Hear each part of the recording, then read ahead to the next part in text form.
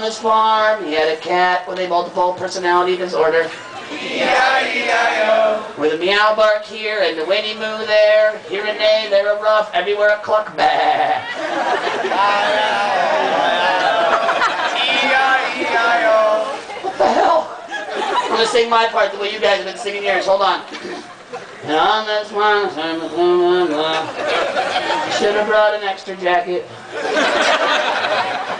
And on this farm, he had a chicken with a really crappy attitude and a bad case of Tourette's. E-I-E-I-O. With the cluck you here and the cluck you there. Cluck you. You are getting worse and worse. You're not even trying anymore.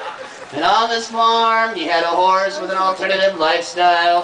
E-I-E-I-O. With the hay hay here and the hay hay there. Here, hey, there, hey, everywhere, Hey hey. hey. All right, listen. If I if I get one solid EIO, we can move the hell on. E-I-E-I-O. That's the old man about farm song, people, yeah! Hey, audience! I'm gonna with some people. Maybe Arnold Schwarzenegger on a roller coaster. In this case, a flume ride. Arnold Schwarzenegger on a flume ride. Here we go.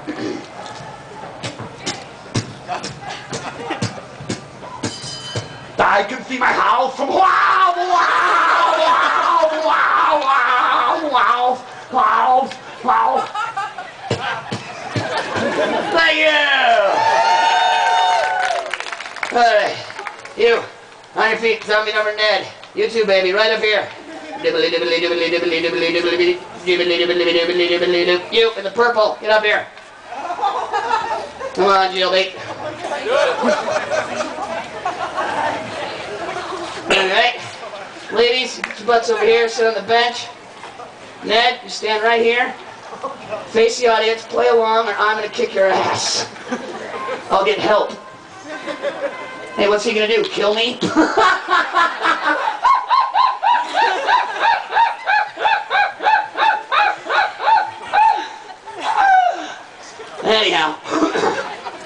Upon a time, there was a man called Ned.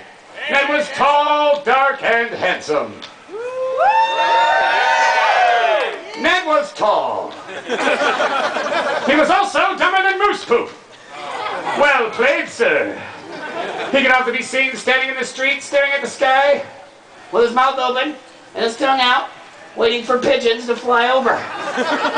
Ew. I said ew. Pastime was playing kick the dirt. River dance.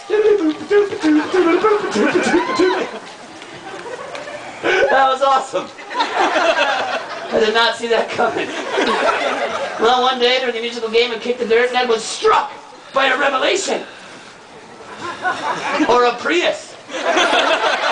A revelation so profound it would end hunger, stop poverty, and wipe out war forever. And then he forgot because he was dumb. But Nedley, he wasn't always so dumb. Oh no. At one point way back when, he was quite witty and charming. Way the hell back when.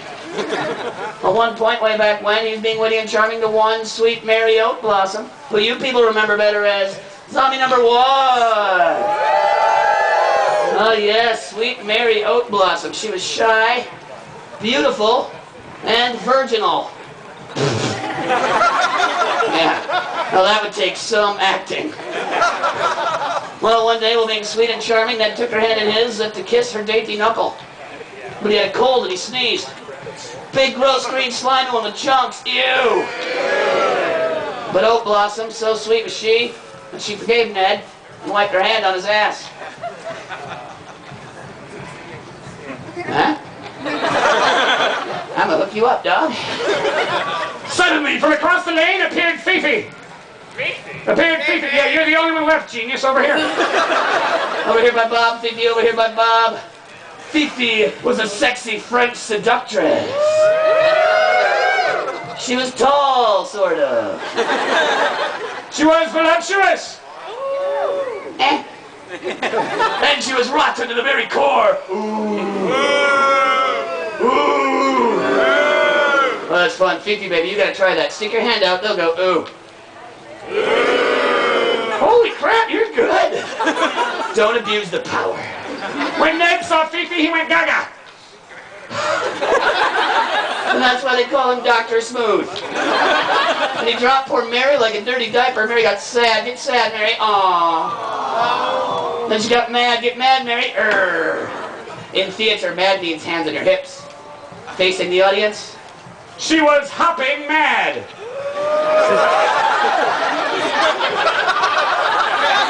well, show's over, people. She stopped on his foot. Punched him in the stomach.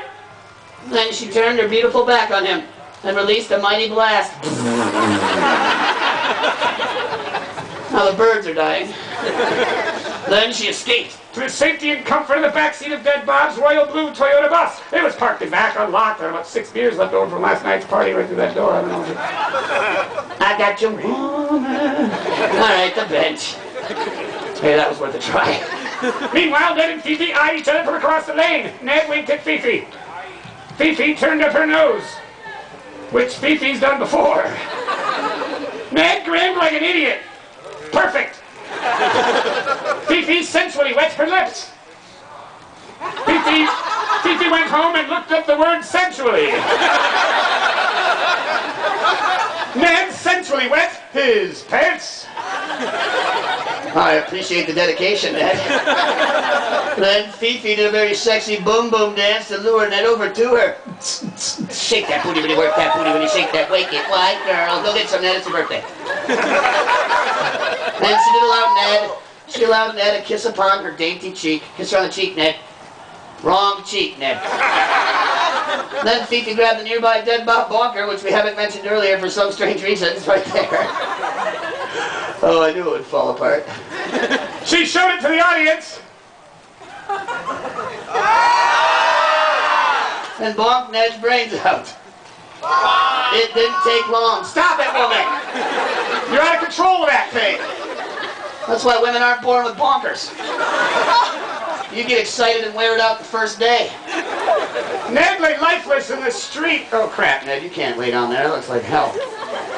Ned, who the Native Americans proudly referred to as sleeps like horses, stood there and knocked the hell out in the street. Shut up, theater is hard.